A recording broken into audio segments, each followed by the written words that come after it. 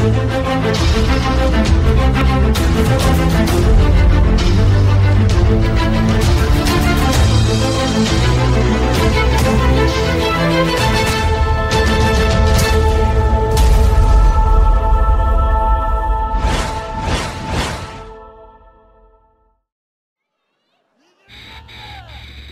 morning.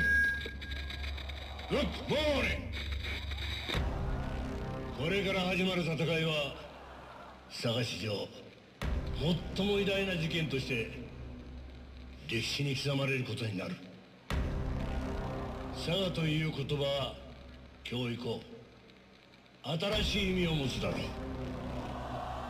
我々は決して屈服はしない。過酷な運命の果てに絶望の闇が訪れたとしても闇の中でこそ。光が輝けることを知ってるからだ。我々は決して嘆きはしない。力の限り叫ばなければただの屍に成り下がることを知っているからだ。我々は戦わずして腐り口はしない。今こそ立ち上がり我々の尊厳のために声を上げろ。これは運命へのリベンジ。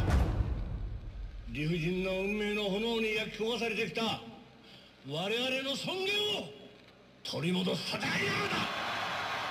我々自身を取り戻す戦いなのだ。